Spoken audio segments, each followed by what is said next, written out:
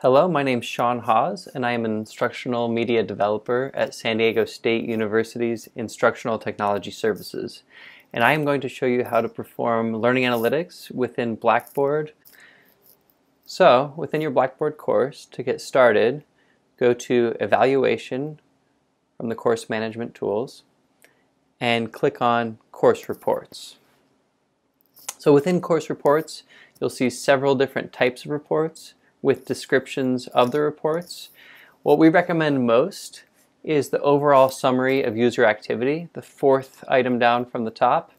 And this report displays user activity for all users of the course, as well as activity dates, times, and days of the week. So when I run this activity, by clicking the down arrow and then run, Blackboard provides me with some parameters to choose from. So to see the information graphically, you can choose PDF. You can also choose HTML, Excel, or Word. So if you're going to run analysis of the data, I recommend choosing Excel. Otherwise, I recommend choosing PDF. From there, you can choose a start date. So in this case, I'd like to see back to Monday, September 26th. And you can either select one individual user or all users by clicking Command A on a Mac or Control A on a PC. And then hit Submit. Once you click Submit, the process can take anywhere from a few minutes up to half an hour.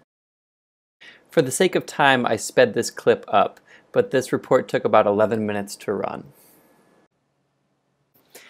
So now that my overall summary of user activity report is complete, I can click Download Report and I can view the results of the report.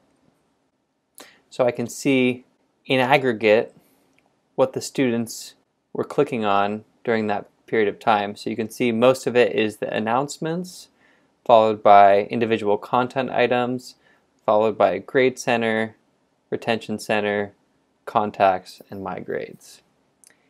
And you can go into more detail and see exactly how many hits each item had. So announcements you can see had 1100 hits or clicks, and that represents 52.93% of our overall activity.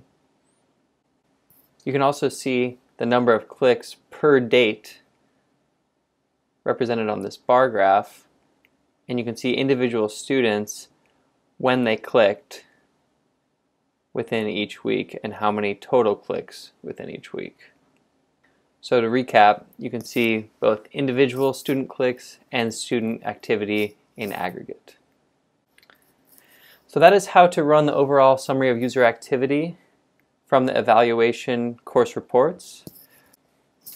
If you have any questions regarding this process, or if you would like to schedule a time to meet to discuss course reports in general, please contact me at shauze at mail.sdsu.edu or call me here on campus at 594 1348.